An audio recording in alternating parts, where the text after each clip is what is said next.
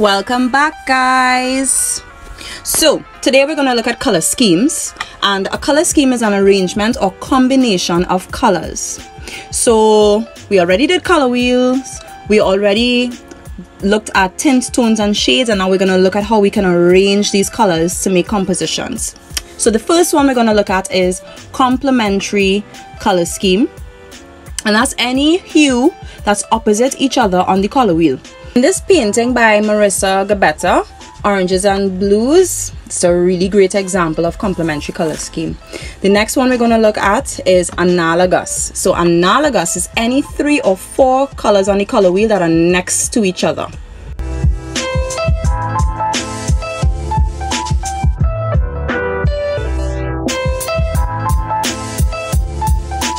We have triadic, and triadic deals with evenly spaced colors or hues on the color wheel, right? So I would actually say skip about three in between each one, and then you can actually look, you can actually draw a triangle. So this last color scheme is an example done by Michael Crease in his painting of the koi fish and water lily. Also want to add, and we're not really going to do this today, but I want to let you know that there's also a color scheme called monochromatic. And monochromatic color scheme is basically what we did last week with tints, tones, and shades of a color. Alright, let's go. So, we're drawing a 9 inch by 5 inch rectangle. I actually made a little error and I created a 10 inch by 5 inch I don't know why I have 3 there. I'm going to divide it into 3 parts though. Right so we end up with 3 rectangles. And then what we're going to do is draw a nice little design. Totally up to you. But make sure you have similar number of elements in each rectangle. So the first one is going to be complementary. The second one is going to be analogous. And the third one is going to be the triadic I'm using for complementary yellow and violet. For analogous, I'm using green, yellow, green, yellow, and yellow, orange. And for triadic, I'm going to use the primary colors, which are red, yellow, and blue, since those are already evenly spaced on the color wheel for me. So the first one we're doing is complementary. So I'm going to mix my violet.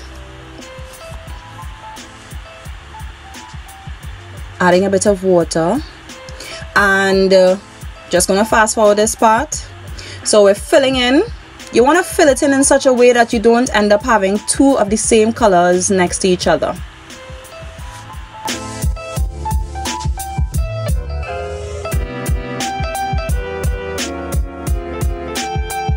After I've completed all the violet spaces and I've left sufficient space to fill in my yellow, I'm going to start with my yellow.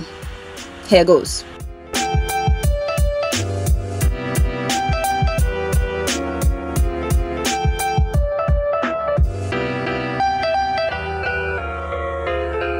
Take your time, guys.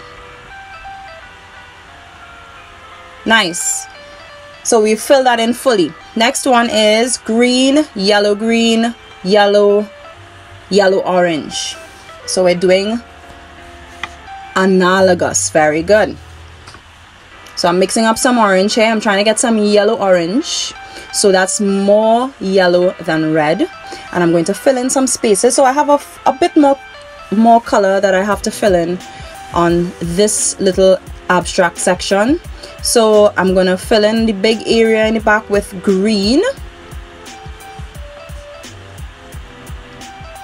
And then the top area that's also large I'm gonna fill in with yellow green. So I'm mixing some yellow into my green so I can get yellow green. Nice. So for the last one we are going to be doing triadic. And for the triadic I'm using red yellow and blue. So I'm speeding this up.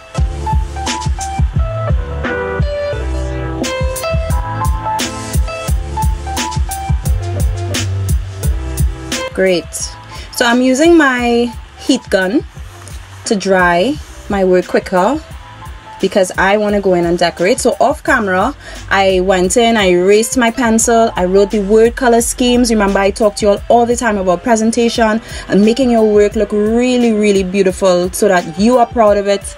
I am proud of it.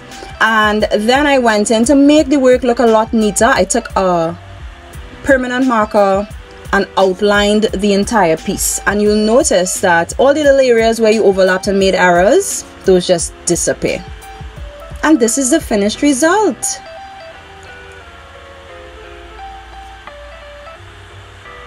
I can't wait to see what you guys do. Bye for now